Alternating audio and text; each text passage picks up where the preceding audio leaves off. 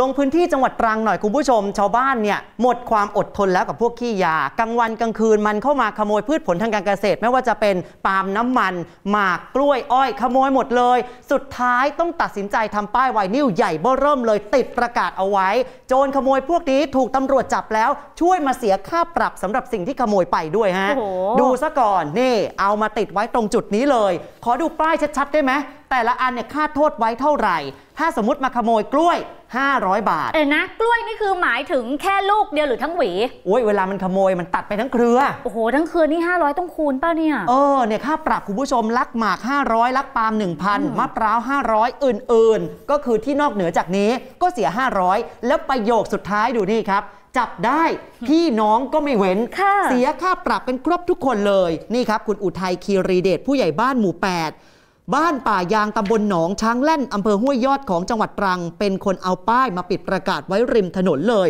เส้นทางนี้เป็นทางผ่านภายในหมู่บ้าน ป้ายไวนิวติดนะครับ ระบุโทษของการขโมย พืชผลทางการเกษตรเนี่ยรายการต่างๆ โดยบอกว่า พื้นที่นี้มีคนนอกหมู่บ้านเข้ามาลักเล็กขโมยน้อยบ่อย โดยเฉพาะ พืชผลการเกษตรเนี่ยตอนนี้มีผลผลิตออกมา ชาวบ้านปลูกเอาไว้กินเอาไว้ขายก็ทำมาหากินกัน แต่เจ้าของสวนที่ทำงานหนักแบบนี้ ต้องมารับความเดือดร้อนจากพวกหัวขโมย ในส่วนผลผลิตปาล์มน้ำมันเนี่ยค่าปรับจะแพงสุดคุณเห็นไหม1,000 บาท เป็นเพราะว่าช่วงนี้ราคาปาล์มน้ำมันมันสูงครับคุณผู้ชม คนมันก็มาขโมยเอาไปขาย ตอนเนี้ยหน้าสวนนะกิโลละ11 บาทแล้วอะ ทำให้คนภายนอกมาขโมย เชื่อไหมมันไม่ได้มาเฉพาะกลางคืนนะค่ะกลางวันแสกๆคุณผู้ชมมันก็โผล่มาขโมย ส่วนหมากตอนนี้ออกผลผลิตสุกเต็มต้น ชาวบ้านก็เริ่มเก็บผลเนี่ยมาผ่าส่งขายแล้ว แม้ต้นหมากจะมีความสูง แล้วคิดว่าโจรเนี่ยมันลดละความพยายามหรือก็เปล่าคุณผู้ชมฮะหาวิธี สอยหมากลงมาทั้งทลายได้เลย ชาวบ้านบอกว่า